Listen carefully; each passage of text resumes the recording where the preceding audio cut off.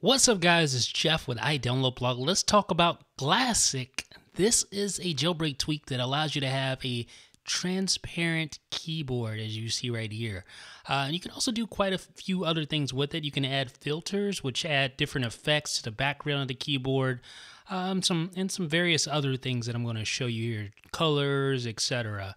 Um, so let's turn the filter on here. And let's edit the filter type. Let's change it to a blur. Now the issue with this tweak, as you can see, when you start to use the filters, uh, everything is kind of delayed when you scroll on your keyboard. So it's still transparent, sort of, but it has a de delayed reaction.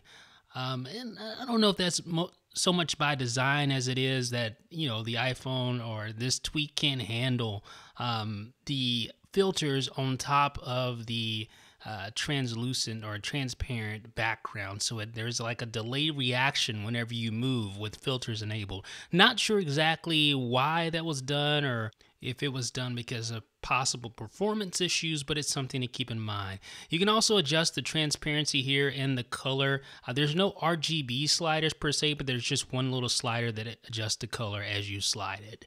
Um, you can also get the color from the application. So, for instance, if I go into the Notes app and I have that enabled, you can see that the color uh, on the keyboard background is the same color as the uh, Notes app, which is yellow.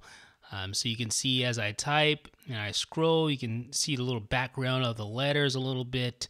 Um, so it's a nice tweak. It has quite a few different options that you'll find and that you'll be able to configure, but it's also kind of herky jerky. So it's going to be up to you whether or not you think this is worth a dollar. I think it's still a little weird, but if you want something really different, check it out.